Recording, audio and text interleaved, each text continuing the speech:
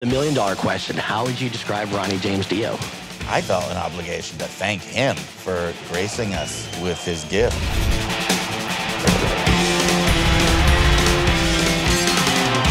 There was something about the guy. He was just unbelievable. He was a hero to all of us. He was the heart rock and roll. Well, that's why he's everlasting.